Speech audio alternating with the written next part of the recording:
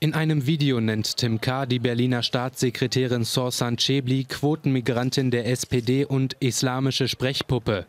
Ist das eine Beleidigung? Heute hat das Amtsgericht Tiergarten entschieden, nein. Für Sorsan Cebli ein Skandal.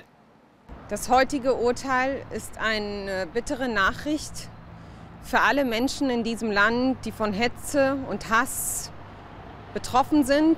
Die Feinde der Demokratie nutzen verstärkt die Schwächen unseres Rechtsstaates aus, um ihre rechte Hetze ungehemmt streuen zu können.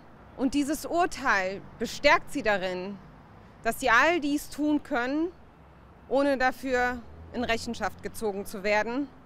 Und gerade in Tagen nach Hanau ist das ein fatales Signal.